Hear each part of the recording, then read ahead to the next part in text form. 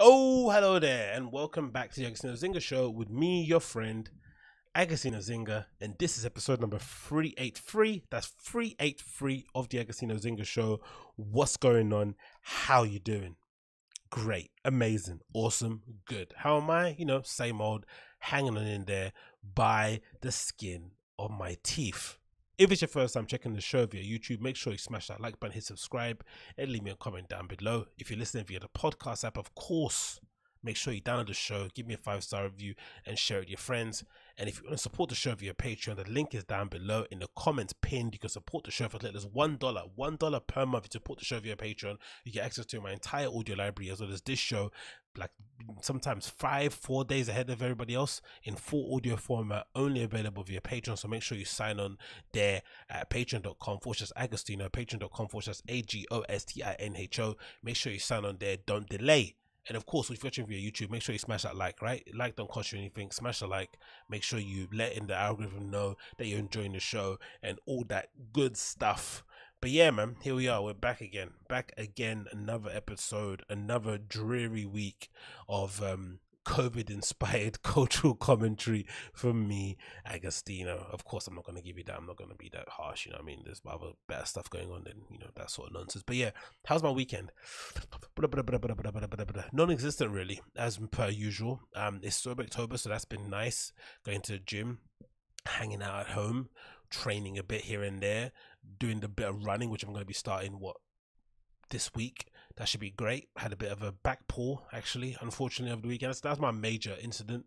I pulled my back doing deadlifts, rounding my back too much, not flattening it where it should be, not wearing a belt, um, all that good stuff, you know. Uh, in all honesty, belts are meant to help you correct your positioning, but you should have good positioning or good posture prior to putting a belt on. But belts helps you keep like you know good habits, good practices, and I didn't do that again and i did this dumb thing too. Usually when you're doing deadlifts or anything of that ilk you usually warm up but i went straight into doing my one rep max. Don't ask why. And of course pulled my back but luckily i was able i pulled it not so not as much as i did last time where i really sunk into it and sort of tore some tendons. This time around, I sort of just tweaked it, a bit of a sprain, nothing too harsh. So you know, took a bit of ibuprofen, which you know isn't the best for you, but again, it was it, it did this it is job in terms of reducing the inflammation, and then you know some mobility exercises here and there, a bit of ice, blah blah blah blah blah, and now I'm back to fighting. Um, yeah, I'm back to fighting fit that's basically where I've been at the moment. But that's been about it. But I'm feeling good though. I feel like I'm getting stronger. Biceps are getting a little bit bigger, right? Um, I think tiny bit, but hey, we're getting there little by little. And um, yeah, that's that's been the one joy I've had in my life, man. The one joy. Please don't take that away from me. Um, you damn government. Right, that's what you don't want, right? They they decide to lock things down again, and they take away the one thing that's bringing me joy, going to a gym. If that wasn't around, I honestly don't know what I'd be doing. I really don't. It'll be a struggle. It really would be a struggle. But hey, we are here. Praised be to the Most High. So, plenty topics to get into. Let's not waste any more time. Let's get right on into it. Topic number one. Um, this really cool article I recommend you read on the Washington Post called "America's Americans Might Never Go Come Back to Work what am I, what's wrong with me? Am I, am I reading out loud? Americans might never come back to the office, and Twitter is leading the charge. Um, this is uh, Twitter's plans to work from home indefinitely have promoted have prompted a wave of copycats. British transformation has been two years in the making, and the rest of America can learn some lessons. So it's a really cool article, basically detailing the complete change, the complete 360 in corporate, um, in the corporate world, or just office work in general, where essentially because of COVID, everyone's having to work remotely, and this is essentially rewriting the entire rules about working from home for most companies, rewriting directions that some companies are taking in terms of how they use their offices, where their offices are located. It's it's just a complete eye opener, and um, it's really been interesting for myself. You know, I've been in the workforce for the majority of my adult life. Um, towards the latter part of it, obviously, I had made the shift to the office life, which has been great. Don't get me wrong, but there is something I do miss about earning a um, honest day's living working in the service industry. Some of the best people I, I met were working in retail um you know working in various other places and so you know bars whatever maybe restaurants for a little bit here and there some volunteering you know not volunteering some um what they call it some temp work that i did doing that sort of catering stuff where you dress up in like a you know bow tie and you're going around with canapes and shit. Those have been some of my best jobs. You meet some of the best people, some real lifelong quote unquote friends, people that you keep in touch with. You grow up a lot. You just see another another side of the life in it. And as soon as you move into the office world, it gets a little bit entitled. People are a little bit up their own ass. They think their shit don't stink, and generally people try and you know busy themselves. That's what you see a lot in office work um, a lot of busy, a lot of busy bots, a lot of people walking around with laptops under their arms, booking meeting rooms to have 10 minute chats, make it look like they're doing something. A lot of, you know, nonsensical KPIs, just nonsense in it. And all, most of it is in the guys are just you know putting this facade up that you're doing something.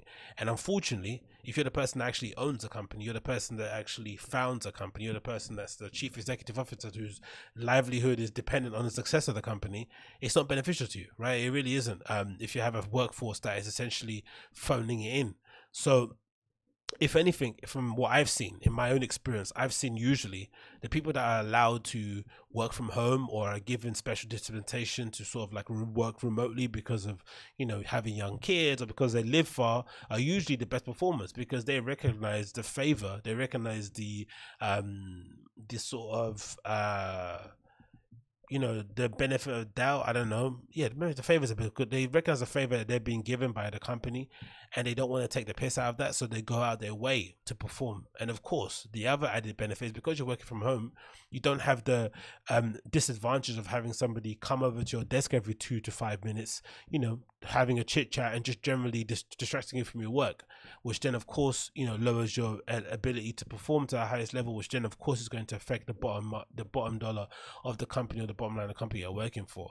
So this shift towards remote working, as beneficial as it is to you know boosting people's mental health and allowing um, employees to you know pursue their passions outside of working with that malarkey, for the most part, this article does specify that it mostly is a net positive for the companies because they get motivated employees who are unlikely to leave and who are going to perform at the highest level possible because they know they've been given a special they've been given a blessing from god let's say quote unquote especially if you work for a company like a pepsico right a shell um, one of these really stuffy companies that you know for them working remotely is like a sin right? I remember I worked for a big corporation once. I'm not going to name them but you know working remotely required you having to you know um, turn on a particular VPN, have your webcam on, like some mad nonsense. And looking back on it, it was really, really intrusive. But you know, they have these really weird hangups when it comes to working outside the office because the office is seen as like as a mark of, I don't know, success,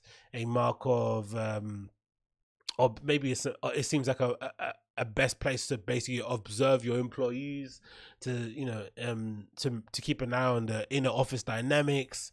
There was obviously opportunity as well if you're in the office too. There was a great opportunity for you to um show off and sort of like you know show out for your managers because you know you stay you come in early they see you you leave late they see you. Um you know you're burning midnight. Oh it's all kind of a weird game. So that obviously eliminates it. But i think for companies anyway like i said i think it's best for them because their retention is better especially now with COVID and everyone offering remote working. If your high performers can get offers to work other places remotely, they're going to leave. So most companies don't want to let go of their best people because hiring is annoying. Trust me, I've done interviews before. Um, I've sat on the other side of an interview table. It's it's a horrendous experience to go through to to vet through people to make sure they're the right fit culturally, to make sure that they're the right fit in just terms of doing the job. It's just really difficult. So if you've got someone that's already doing um performing at a high level, why let them go? So this whole remote working thing is, if anything, really serving the offices or the companies the most. But this article really details it in a really good way. Obviously, it's interesting to see that Twitter was the one that sort of spearheaded it. I think they mentioned here in 2018. Jack Dorsey sent like a random um, email to the entire company that was meant for only a few people, but he decided to send it out to everybody instead, and that sort of you know sparked the necessary change in terms of getting things um, to become remote. And you'd think looking at Jack Dorsey, the fact that he meditates and the fact that he goes to on retreats, silent retreats and stuff, you would think that Twitter would, would have already been looking at remote working anyway prior, but even them, like a company that I would think would be a little bit more woo woo, um, had only thought about working from home in, in 2018. Of course, sometime before the COVID, but you would have just thought, considering Jack's temperament, that they would have done it. Because I know WordPress have already introduced something like that. Because you know, again, their founder is someone that likes to um, work remotely, work away from the office. Um, you know, there's a complete, there's a whole different, there's a whole little ecosystem, a little subculture when it comes to remote working and stuff that exists in Silicon Valley. So that was a surprise in that regard. But it's a really detailed article from Washington Post. I really recommend you check it out. Um, really, really interesting to see where the future of the workplace is going. Um, but yeah, let's move on. We got this really disturbing video again, which is disturbing news here from Fox News, and this maybe is a further illustration as to why I was so conflicted when I saw the whole Chrissy Teigen, you know, um, news spread about her unfortunate situation that they went through as a family with your Legend and whatever. And the reason why it made me feel conflicted because I've heard, especially from you know from reading books and just generally from listening to others who have gone through really tragic consequent tragic scenarios, that grief is really one of those things like similar to love. Um, that's really unexplainable what people will do when they're in that position, when they're in love or when they're going through grief. That sometimes it really is disingenuous. No, I was say disingenuous. Um, you really can never understand unless you're going through it yourself. So you, I can sometimes excuse sometimes um, admittedly weird and off-key behavior, such as what you know, of course, such as the photo shoot that Chrissy Teigen and John Legend did when they announced the unfortunate the unfortunate passing of their son.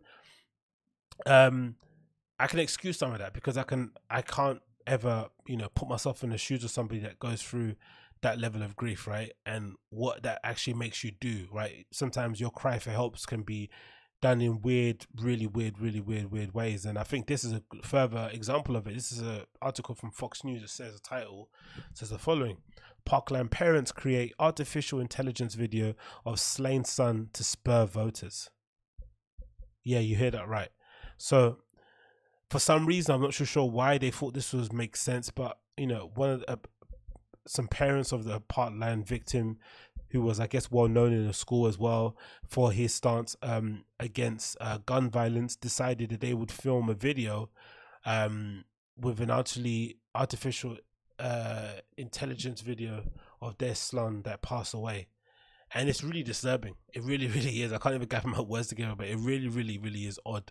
So the following here says, um, um, wearing his signature hoodie and beanie and earbud casually hanging from his ear, passionate Parkland teen Joaquin Oliver urges his peers to vote for lawmakers that will end gun violence in a new video released on Friday. Next month's election would have been his first chance to vote. The 17 year old's mannerisms and vernacular, yo, it's me, are shockingly lifelike but it's just a mirage, a realistic, almost eerie artificial intelligence recreation of the teen who was among the 17 killed in 2018 Valentine's Day massacre at the Marjory Stonehill um, High School in Florida, the worst school shooting in history. From the grave, the teen who is now begging his peers to cast a vote that one he would never cast. And yeah, this is the video itself. I'll play a little bit for you here, but it's really, really, really eerie. Um, and again, just maybe is a further indication of grief, but also of what grief can do to people, but also a just so fitting with the year, in it, considering what we're going, what's happening in 2020, Trump catching the COVID, it's this video suddenly popping up out of the woodworks. Like 2020 can't get more weirder, in it? It really cannot. But yeah, this is the video.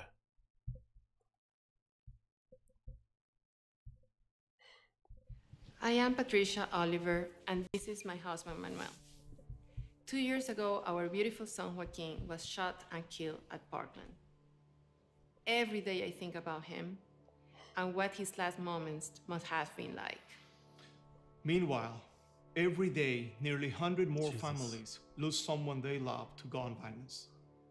Every single day, we keep telling people it doesn't have to be like this. They don't listen.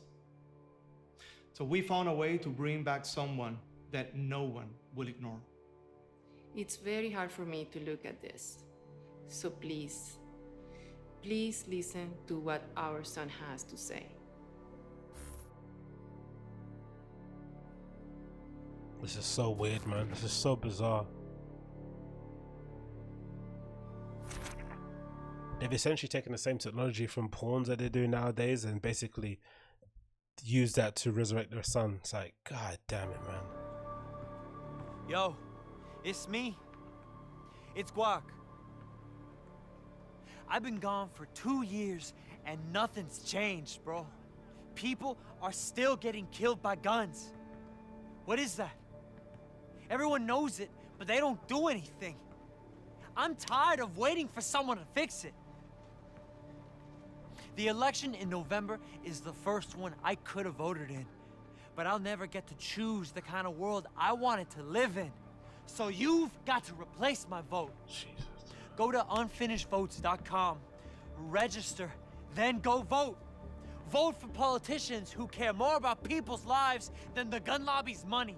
Vote for people not getting shot, bro. I mean, vote for me because I can't. We've got to keep on fighting, and we got to end this.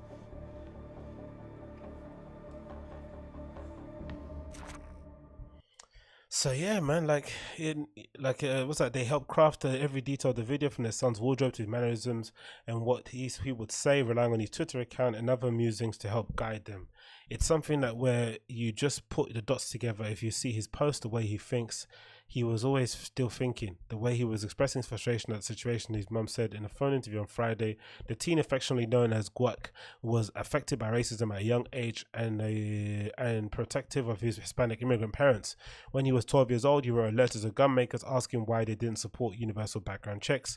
We are letting Joaquin grow into his ideas and how he will be um, reacting to things that are happening today, his father said we know our son is so well, um, and we know exactly what he wanted that he he wanted from life. The lifelike image is also painful to watch from the grieving parents. She said, I couldn't even breathe well, his mother said in the first interview she saw the video. She said, um, Of course, we know that it's not Joaquin, but they did such an amazing job with the technology that uh, you can say, Oh my God, how I wish that could be a real Joaquin. They're talking to everybody. For Manuel Oliver, he's harnessed the pain to create the change. The artist has traveled to the country on Joaquin's behalf, painting a mural of his son's birthday. Um, outside the National Rifle Association headquarters and leading a rally at the headquarters of the Smith and Wesson. I cannot describe this painful but as powerful. Yeah, and again, man, what a bizarre world, isn't it, that we're living in right now, where this is this is why sometimes it's difficult to kind of have a critical opinion of these things because you can understand the pain of the parents you can understand them wanting not them not wanting other parents to go through whatever grief they're going through at the moment um you can understand them being you know feeling quite um you know uh, feeling like they can't do anything right feeling like their hands are tied and in trying whatever they can to make their message heard but god this is weird isn't it if if it wasn't weird enough you know to get you know half of the Hollywood telling you to vote and telling you how important it was to get out there and put your vote in, how much more, you know, seeing a kid that passed away in a school shooting telling you, imploring you to go and vote to make your voice heard because they can't do so. God damn it, man. It comes from a good place, but there's of me just thinks like, you know, maybe it wasn't the best way to go about doing things. But again, maybe I'm off the mark there. Let me know in the comments down below continuing on, continuing on. Interesting news here from the UK regarding the cinemas and something that has been really intriguing me over this. You know, of course, during during COVID, um, we've seen loads of different business sectors being affected um, in really interesting and sometimes brutal ways. And one of them that's really been spiking my interest has been the effects on the cinema industry, the effects on movies um, we've sort of always known or got the impression that big studios were very resistant or very hesitant to kind of enter into the streaming world, right? To kind of embrace video on demand. Um, you know, the introduction of Netflix kind of really ruffled some feathers it kind of really um, put things into question as to the value. It kind of effectively devalued the cinema experience, especially for the general consumer who's probably not that bothered about seeing their movie on their laptop or seeing it in the screen and essentially had to essentially force the cinema industry to have to innovate or maybe offer the customer more because you know of what's available out there via vis-a-vis streaming but it seems like, especially with this headline here, that Cineworld is going to cut 45,000 jobs because of COVID, that the cinema was just refusing They're refusing to accept the future. They're refusing to accept the realities they're living in. They they're trying to, you know, the the the moviegoers and industry at large is trying to pull them into the 21st century, kicking and screaming, but they're just resisting. They just do not want anything to do with it, and it's very very peculiar to see. So let's read the following article. It says as follows. Shares in Cineworld have plunged after it confirmed it will temporarily close all its cinemas in the UK and the US as it struggles with the pandemic induced lack of new films to draw in audiences, including the twice delayed new James Bond installment. 45,000 employees will be out of work because of the closures, including about 5,000, 5,500 staff in the UK and 20,000 staff in the US, as well as contractors such as cleaners, security workers. Staff were informed of this on Sunday. The world's second uh, biggest cinema operator said it's 127 Cineworlds and Picture House cinemas, and its 300, 536 Regal cinemas in the US would shut from Thursday. Cineworld's share price plunged um, at the start of trading on Monday by as much as 60% to a record low of 15.6 pence per share. That was below the levels reached during the UK and US lockdowns in March. God almighty. The sell off eased um, slightly after the initial trading, was shares down to 20, 27% at 29p. The cinema industry has been caught between coronavirus pandemic safety measures in some of the world's uh, biggest markets, which have limited audience numbers and a delay in key films that are being kept um, to tempt sorry audiences back. The latest film in the Bond franchise, No Time to Die, had been rescheduled to November, but this week was delayed until July, sorry, um, April the second, 2020 a year later than initially planned. The industry was also rattled by the Disney decision to release its live action Mulan remake straight to a streaming service, bypassing cinemas. Cine, uh, uh, Cineworld said it was monitoring the situation closely as it waited for the distributors to plan the launch of the blockbuster uh, for, that account for the large proportion of the multiplex sales. So, cinemas, by and large, from my from what I know, they they they usually rely on the sale of confectionaries, of course, and of course, you know, big studio movie releases. That's majorly what they rely on. So if you're wondering why you have to pay six pounds or five dollars for a flipping Snickers bar, it's usually because that's where they make their money on. They don't make their money on ticket sales that much. They usually make most of their income from the confectionaries and of course from selling loads of tickets for the big uh, movie sales because you know most movies, so most cinemas that you go to, especially if you've got friends that work in cinemas, there's there's hardly more than 30 people in each screening on a random day of the week just watching a movie. But most of their income comes from you know star wars um, you know some superhero movie coming out and people are seeing it weekend after weekend week after week booking out some of the um, evening uh, screening times and essentially you know making them a bucket load of cash that you see them through throughout the month. So the interesting thing about this is that Cineworld is effectively reacting to the studios and they're saying that if the studios don't release their movies, we can't stay open. We can't justify being open because I guess with COVID, and even if they do sanitize the rooms and they space people out, because they're already losing money during a week by not having the rooms full or the screens full, they're gonna lose even more money by having the the screens have to be spaced out in a certain way to allow you know for social distancing measures to be um uh to be implemented but the issue I have with this is that I wonder why they're not they're so resistant to innovate or to adapt to the times.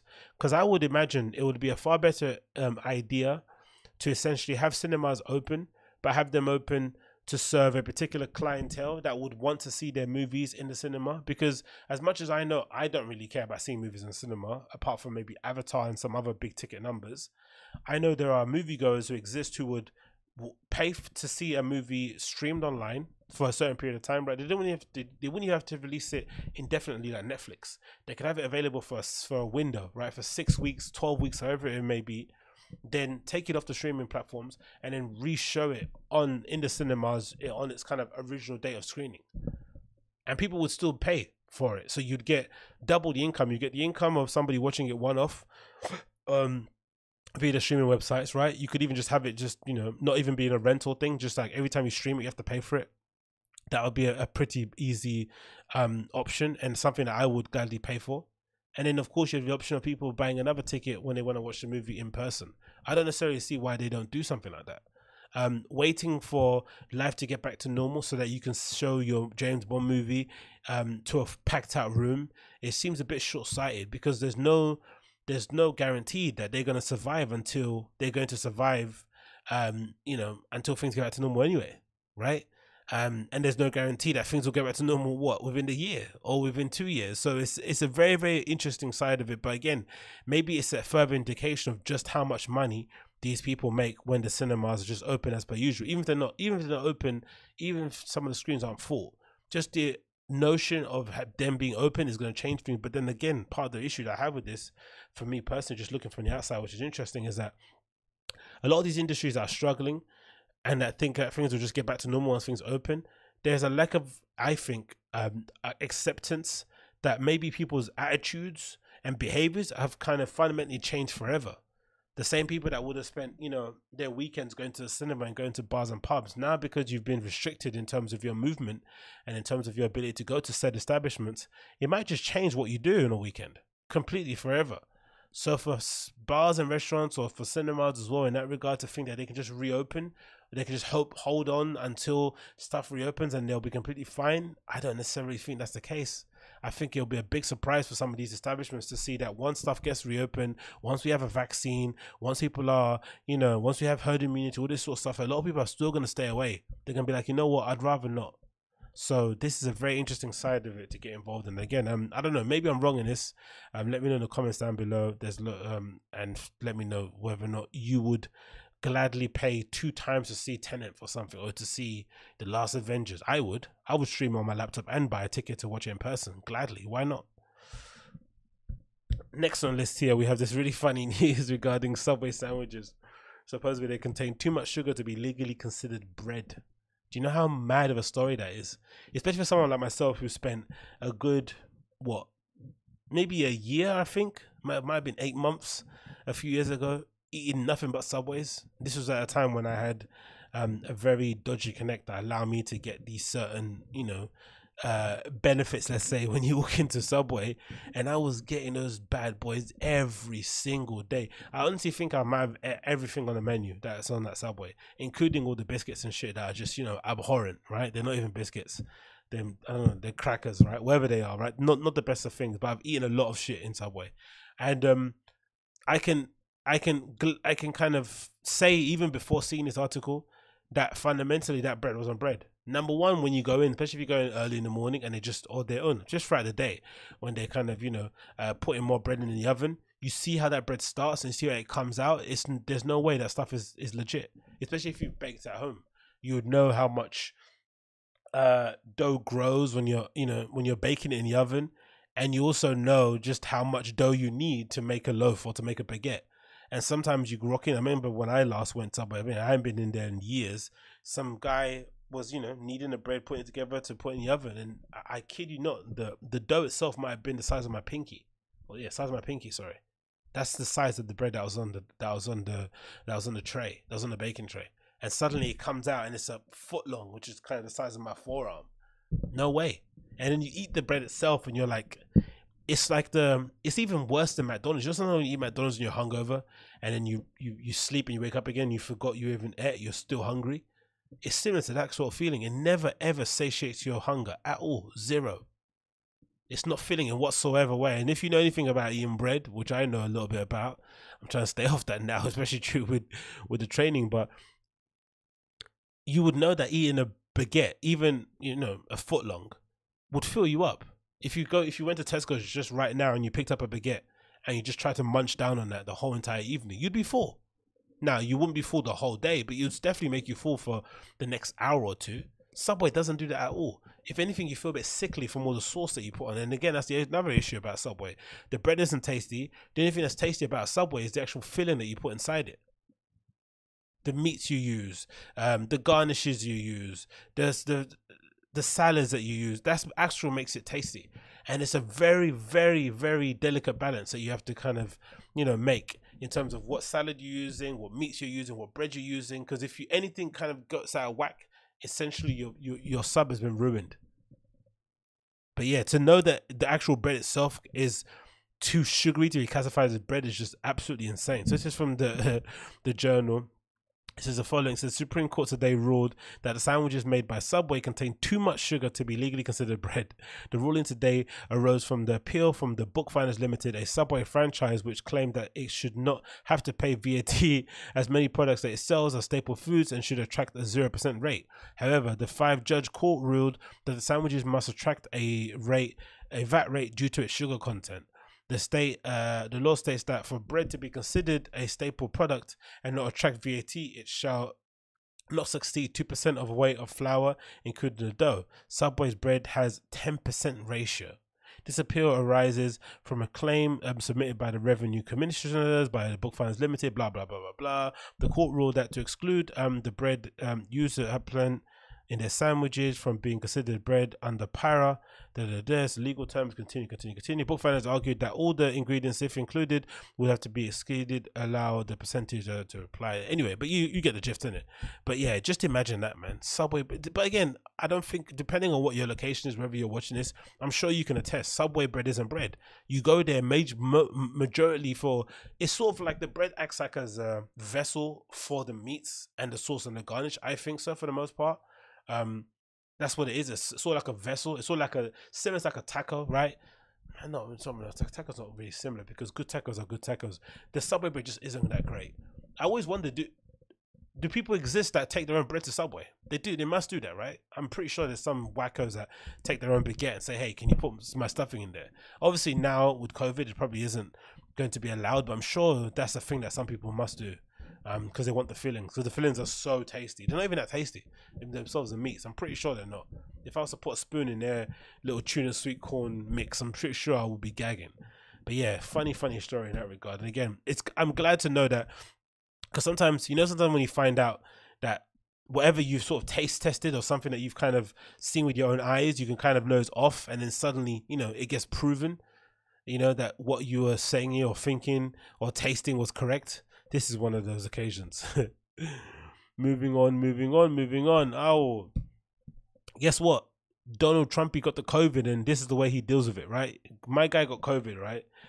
And I guess in a way to kind of show effort and to no to show force and power and machismo and never say die attitude, he decides to do an entire photo shoot at the Walter Reed um, hospital that he's currently situated in to kind of you know put forth this idea or this impression that he's not suffering and he's strong and America's not going to crumble and all this sort of good stuff. And it's just like God Almighty, peoples are dying on the street. Homelessness is at all time high. Unemployment all time high. People's houses are burning, right? And this guy decides to do an entire photo shoot, bronzer included, because I think he did a couple videos where he's looking a bit grey. I'm pretty sure he was aware of that and decided to make necessary changes so that he looked nice and tanned. Just an utterly bizarre individual, but and also a perfect encapsulation of 2020, in it. Like, just imagine what it must be like being a fan of Trump as well. How hard it is to kind of not hard to back him, but like how hard it is to kind of um what do you say, rationalize this, explain this, or you know, there's no way you can explain this really, is it? Because fair enough, you got it. I think you know people can get it, even though he's he's meant to be in one of the most secure bubbles ever. I think the way that he's going around, you know, the nation, campaigning and stuff, which is in his right to do. But you know, he's more likely to get it than most people because he's connecting with or connecting or touching so many people. Even though he tries to maintain distance and he says he wears a mask, blah blah blah blah. That necessarily isn't the case. It's just the optics of it. That's really the thing. That's what the mask is really, in it. Mask is usually should be classified as an optics thing. It's not even a health and safety thing because I think in the states, you know, there's there's a whole conglomerate of people that just don't believe the virus is as bad as the deal as the, scientists are making out, and they're never going to be convinced otherwise. So the only thing that you can sort of rely on, the only thing that you can sort of use to kind of fight your to kind of hold your position would be to say, hey, it's not about you know um, adhering to the science guidelines. It's just a way of us showing solidarity with each other and saying, "Hey, we're going through the same thing." You know how somebody, or you know, some kid, um, unfortunately has leukemia or has some sort of ir- um, incurable um, cancer, and then you know they you know they have to go through chemotherapy they you know their hair falls out they have to shave their head and in the act of solidarity sometimes their close family or friends will shave their heads in solidarity too because you know especially if you're a young kid shaving your head bald can be a bit of a traumatizing experience so you know in terms to to kind of be there for that person to show solidarity with your friend with your family member you shave your head too a mask should be treated the same sort of way, right? If you, if again, if you're a non-believer in the virus, you should just treat it the same way. Like, hey, we're all going through the same stuff, so I'll just put it on just so I can make everyone around me feel at ease. Less so about you, more so about everyone else around you.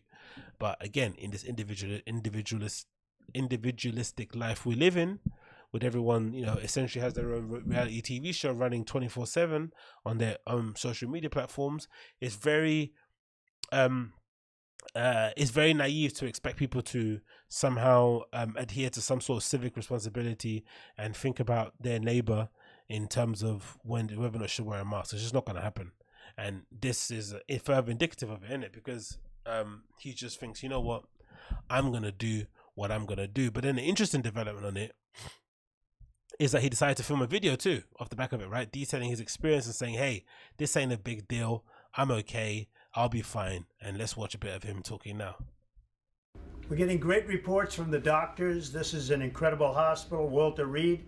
The work they do is just absolutely amazing, and I want to thank them all the nurses, the doctors, everybody here. I've also gotten to meet some of the soldiers and the first responders, and what a group. I also think we're going to pay a little surprise to some of the great patriots that we have out on the street. And they've been out there for a long time and they've got Trump flags. And does it mean all his voice sound a bit, eh, you know, when you're holding in a cough? So he's got COVID. He's meant to be quarantining for what two weeks, or meant to be under observation because supposedly he's on oxygen, which is somehow debatable. But he decides in his infinite wisdom because he's feeling good, right? He's feeling strong. He's feeling healthy that he wants to go outside and meet some of the protesters or some of the sorry supporters that are outside gathered around the Walter Reed Hospital, which is again another bizarre thing to see. You know that they're actually there. There's fanboys for politicians now, which is bizarre to say the least. But I think it's a natural consequence, right? When people hate one side so much, the natural reaction is to be, you know, I'm gonna back this guy, right? It's natural. But this is just utterly bizarre, man. Utterly, utterly bizarre to see.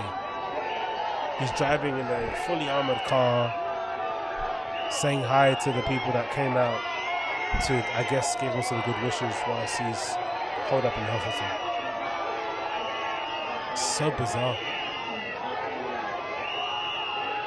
There he is in the motorcade, waving by with the window drawn up a little bit. And that's him there. There's Trumpito waving. What a bizarre world, isn't it, that we're living in right now? And again, think about it. It's less about even you, if not you believe if it's real or not. It's more about sending a message, right? That we're all in this together. Nah, I'm not. I'm doing it my own way. And this is maybe explained away a little bit via this um, article from NPR where Mary Trump basically says the the family sees illness as unforgivable weakness, which kind of explains how he's kind of dealing with it. This is from NPR. It says the following: It says the attitude about illness is looming large over the president's coronavirus treatment. White House physician Sean Conley said on Sunday that he didn't initially disclose that the president was given oxygen on Friday, despite multiple questions about it from reporters, because he was trying to reflect the upbeat attitude of the president. That's insane, man. That's insane. The White House physician is lying to the American public about whether or not Trump got oxygen. Why? To save face. Like, who cares if he got oxygen? He's an older dude, isn't he? He's just going to get it. Oh, this is so weird. So, Trump's estranged niece, Mary Trump, said members of the Trump family have um, viewed illness as a display of unforgivable weakness. Mary Trump, who is suing the family for money and recently wrote Too Much and Never Enough How My Family Created the World's Most Dangerous Man, told NPR's Michael Martin that illness was seen as unacceptable by Donald Trump and his father, um, Fred Trump. She said, which sounds incredibly cruel, but it happens to be true. That's why the US uh, it, the US is in the middle of a horrible place we're in because we cannot admit to the weakness of being ill or other people being ill, Mary Trump says. Um, there have been more than 7 million cases of coronavirus in the US and more than 200 people have died. So that kind of explains why he decided to go out in his motorcade and, you know, wave to supporters outside. But again, it's such a bizarre way to do it. I don't think any other leader in world, in the world, even even someone like a Putin would have done it this way. Um, it'd be interesting to see what happens with the elections though going forward. Um, whether or not this will hamper his chances of getting re-elected or not, I'm not too sure. I'm not really sold on it. I think everyone's kind of talking up Joe Biden as a viable candidate, but I think the people that actually are going to go out and vote are going to secretly go out and vote for Trump anyway. I, I, a, I definitely think that. I think when from from looking at history, whenever there's been, whenever a country is going through some sort of tumultuous time, they very rarely decide to change leadership. Usually, everyone just thinks, you know what, we're dealing what we're dealing with at the moment. The last thing we need is a change of leadership, change of administration, um, and you know, a tearing up of the rule book just to kind of appease ourselves because we've got somebody that's annoying. I think if you if you can get through four years of Trump, you can get through another four years. Just grit your bed, just grit your teeth, and sort of kind of get through it for the most part. I don't think you know. Because if you think about it, but from the outside looking in, he, the the worst thing about him is just what he says, less so about what he actually does. Right? I think there are people in his administration, there are people within the Republican Party who are far more dangerous. Right? You look at people like um, what's his name, Moscow Mitch, um, and the stuff that he's allegedly done. Right? And you think to yourself, God, if ever there's somebody that actually needs to be challenged, um, it'll be someone like himself, right? Like a Mitch McConnell, but you look at stuff the stuff that Trump has actually done that's actually riled people. It's mostly the stuff that he actually says out aloud. You know, it's not really becoming of a prime minister. Uh, sorry, it's not really becoming of a president. So if you can maybe grit your grit, grit your teeth and bear it for another four years, and then get an actual proper candidate people can believe in or kind of back, then that would probably be the best way to go about things. But I don't know. It doesn't seem like people in America have that kind of level of patience. They're probably at the end of their tether you know, people are protesting in the street, people are larping and doing all these weird sort of like cosplay sort of fights in the middle of Portland and stuff. So, if anything, this is probably the time that they're going to need to make some level of change because they just can't handle it anymore. But yeah, what a weird way to deal with things, right? What a weird way to deal with COVID in public, too, especially when you want to. I guess it's not really it doesn't really vie away from his brand. But if you want to implore the nation to sort of take the virus seriously, um, to not take unnecessary risk, you know, going out in your motorcade to say hi to people, especially if you think about the idea that it's a bulletproof car, right? It's probably the breeding ground for a an airborne virus to spread, right? Because it's hermetically sealed, I'd imagine, right? It has to be sealed in a way that will prevent you from getting shot at or for you know in any way, shape, or form. So that's probably a perfect breeding ground for COVID to spread. I'd imagine they're probably making all the necessary precautions. They're testing everybody every day as they do in America. I don't know what they're doing, but yeah, what a bizarre, what a bizarre, bizarre world we're living in, man. Trump gets COVID, and the way he deals with it is taking, is doing a bloody photo shoot. Like it's just utterly, utterly bizarre. Really, really is. Like just, just like I, I don't see what anyone's meant to get from that. Like, do you buy any of this? Like, is this does this make any sense to you? Does it fill you with confidence? Probably not, in it. But again, maybe in his side of things as well, he couldn't stay quiet. He knows if he would have stayed quiet and just received treatment, they were going to put so much mud on his name. They're going to disparage him, make up rumors. So he had to kind of come out, show show a kind of, uh, you know, put a strong face on it, and hope that that's enough to sort of see him through to the next elections. But what a bizarre state of affairs! What a bizarre state of affairs. Next on the list, what else do we have here? Oh, brutal news for Paris. Paris is supposedly going to shut all the bars and raise the alert to maximum. Now, this is mostly based off the um, made me think of this because of, of course, of the possession parties and what they've been doing over there in Paris. You know, these open air techno parties that they've been putting on for the best part of what a month. It feels like every other weekend they'd, they'd kind of host these amazing techno parties in the middle of nowhere, somewhere outside in the rural bits of um, Paris. Usually booking some really big DJs. I think the last big one to play was Amelie Lens, but usually some great big acts come there and play. Hector Oaks played a few times, but they try and get a few their residents, and it looks like a fun time. Looks flipping fantastic. But if you're keeping attention and you're kind of keeping your eye on the numbers and the news, it didn't necessarily seem like the best thing to do, right? Especially considering the amount of cases with young people.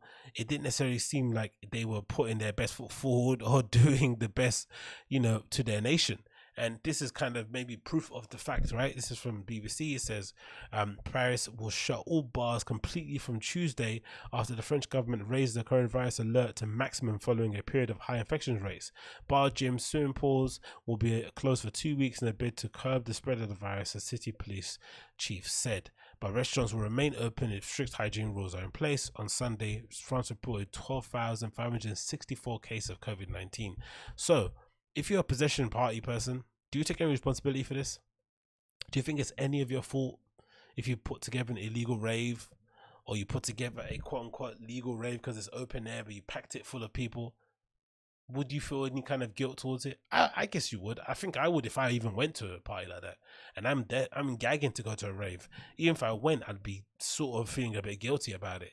Like you know, how many people have, have kind of put in put it into harm's way, and of course, as as we've kind of always assumed, um, trying to take the you know the momentary joy that you will get from putting on a rave now is eventually going to lead to much more delays further down the line when things are starting to open up. Um, it's a really, really uh, disappointing state of affairs, really, especially considering how um, well Paris were dealing with it, especially towards the beginning of the lockdown. There, I remember those stories about restaurants thriving, opening up the streets, making the streets no parking, no, sorry, no cars allowed on certain streets to allow restaurants to sort of spread their tables out on the street and stuff like. And already, you know, Paris is already a cosmopolitan city. They do the kind of you know dining outdoors thing better than anybody, maybe only second to places in Spain. But they were really thriving under that new model, and then suddenly, bang, the rug gets pulled underneath your feet, and you're back to square one. So yeah, uh, bad news if you're located anywhere in Paris, I guess, in that regard. Moving on. Ba, ba, ba. What else do we have here? Not that one. Uh, da, da, da. Yeah, let's just go in this one actually. So this is from BBC regarding one of our MPs from the House of Commons, um, Margaret Fer- Ferrier, Ferrier um, has uh, unfortunately got herself in a bit of hot bother. And again, further illustrates the whole one rule for them, one rule for us situation that we have here in the UK. So it says here the House of Commons Speaker has said he is very angry at the reckless behaviour of an MP who travelled from Glasgow to London with COVID 19 symptoms, then returned home after testing positive. You couldn't make this up. Sir Lindsay Hoyle said he would he could not believe that Margaret Ferrier had put other people's health at risk and he said he had she had not initially given a uh, straight story to the authorities. Miss Ferrier has been suspended by the SNP and faces calls to quit as MP. Has imagine facing calls to quit. You should quit yourself. DUP MP Jim Shannon, who was seated at the same social distancing dining table as Ferrier, um, as the MP said on Monday evening, is self isolating but received a negative test result on Thursday afternoon. An assistant sergeant at arms was close to Ferrier when she spoke in the Commons on Monday, but has not been advised to self isolate. Miss Ferrier has apologized and said that she deeply regretted her actions. And I don't know, like, again, headline here says, Will she remain as MP? It's just a shocking state of affairs, and again, it further illustrates just how badly this um, government has dealt with COVID. And again, it's not to say Labour would have done a better job because that's not necessarily true, but just in terms of optics, right? It's less it's less about this is more again a case of optics, similar with a mask thing. No one is telling these people to be perfect, right? If mistakes happen, sometimes you make an error, you want to rewrite it, you tell a white lie, and suddenly you're you're spiraling yourself, and you're in this situation that you never would imagine prior. And if you just told the truth, everything would have been okay. But I understand a lot's on the st- a lot's on the line, a lot's at stake. You don't want to necessarily put yourself in un- any unnecessary situations. But you would imagine if you're an MP and you get caught out in this way, especially post Dominic Cummings, you just have to, have to, have to step down yourself, just in order to kind of, you know, um, just to kind of instill some faith in the government still that there obviously are some checks and balances quote unquote or that they do hold themselves up to the same standard that they're trying to ask the public to hold themselves up to. It's just a really really shocking state of affairs. And again like i said i have sympathy for the woman. Mistakes happen. Sometimes you again you, you tell a white lie to get yourself out of another one and suddenly you're, you're in a situation that you never knew you envisioned. But if you're an mp you owe it to your constituents. You owe it to the public to set a good example. And if you can't set a good example you leave your post it shouldn't be more difficult than that. So for her to be still be in a position, only be suspended pending an internal investigation, whatever else nonsense that's going on, and for her not to lose her seat, it's just shocking, shocking, shocking, shocking. And here's a statement here on Twitter says the following. I apologize unreservedly for breaching COVID 19 restrictions by traveling this week when I couldn't have, when I shouldn't have, sorry. There are no excuses for my actions.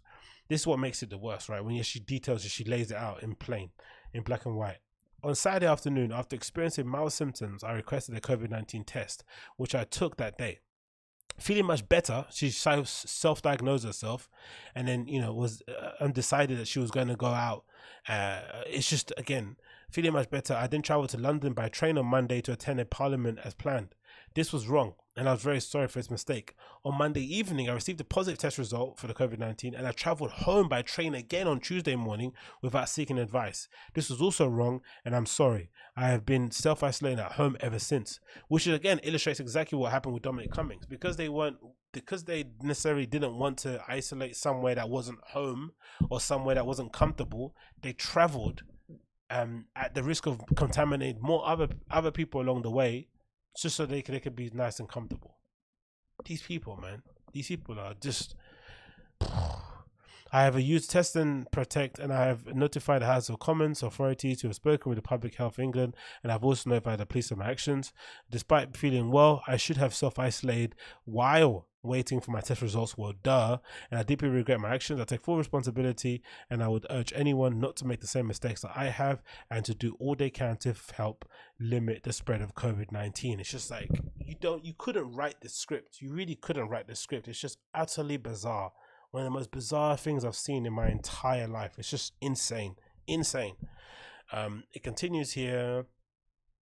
Oh, that's it. Yeah, continue. Uh, I, I don't know. I don't know, man. Like, like I said, I think this whole COVID thing has really taught me one thing. That's just like you know, read, digest the information that you can digest, make your own decisions about what you want to do with your own life and how you approach COVID. But you can't listen to what these guys are saying in Parliament. You just cannot, man. They're not really doing. They're not. They don't really have an idea what they're doing. It's just not the right way to go about things. Again, it's just a truly shocking state of affairs here. But hey. What can you do? Let's move on here. Da, da, da, What's can we do here? Um, Let's move on. What else can we see? Uh, what's next on here list? Oh, let's end with this one. Actually, this is quite good. So the next collaboration in the McDonald's series is J Balvin, reggaeton superstar. Um, has got a collaboration with McDonald's. Um, this is from Hypebeast. Um, of course, you got a picture here. He's got a burg, a Big Mac sans a pickle with a McFlurry, an Oreo McFlurry, and a large portion of chips.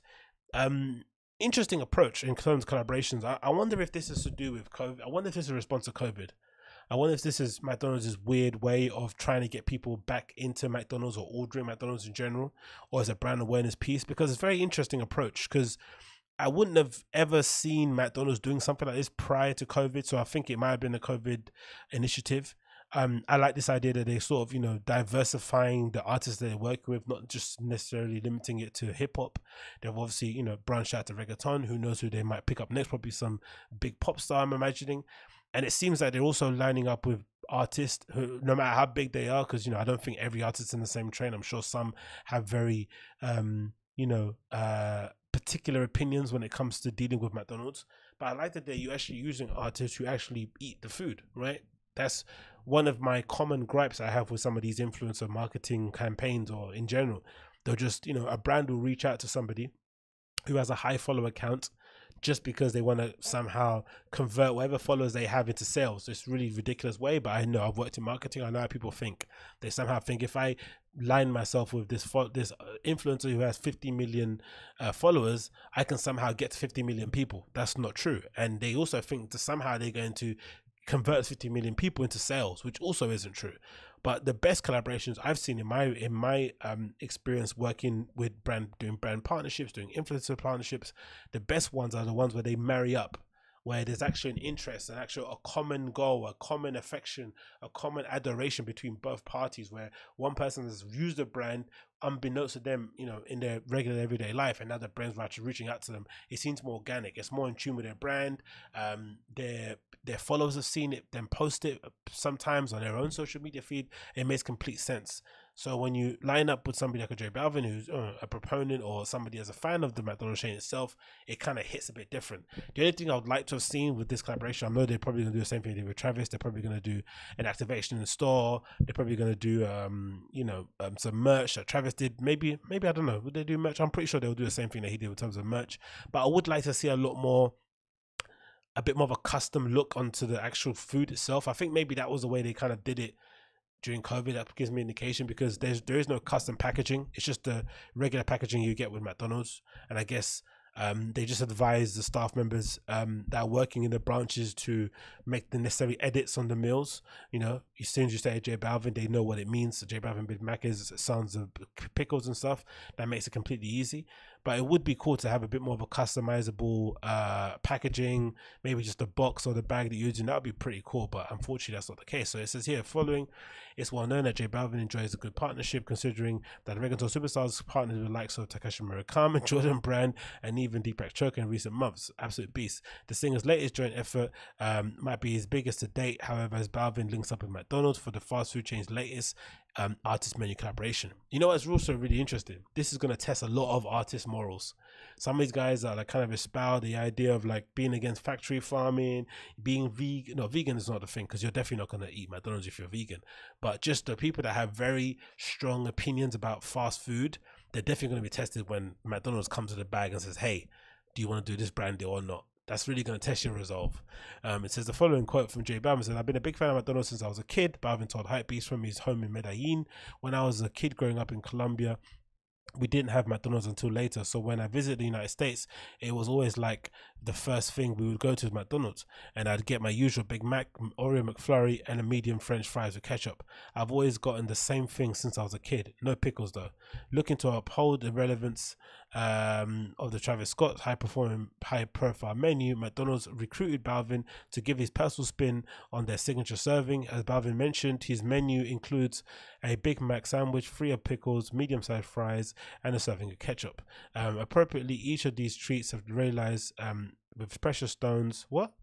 each of an upscale Vandal design necklace and Balvin wardrobe. Okay, a video interview. Okay, cool. Um, McDonald's called me to ask for the collaboration, I immediately said yes.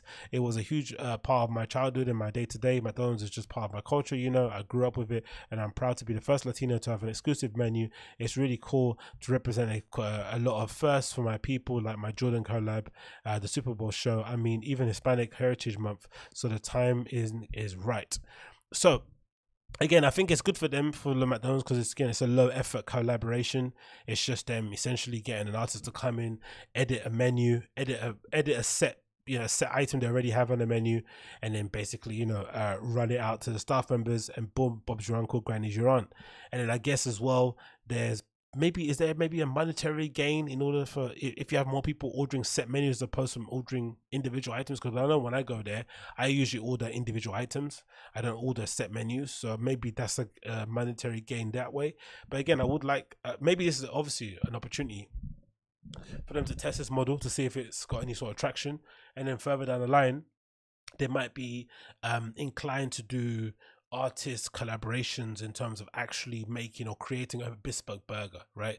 Like a different patty, different combinations, uh, and breads and shapes and shit, and different sauces. That might be an avenue they might explore later on down the line. This might be a little bit of a tester or a bit of a taster, no pun intended. But yeah, cool to see. Um, this says here it's going to arrive uh, last from the 5th of November to the 5th of October, so the 1st of November. Like the Scott Meal, the savvy customers can snag a bargain when ordering the, through the McDonald's app, which uh, will score them the Oreo McFry for free. Oh wow, okay, awesome.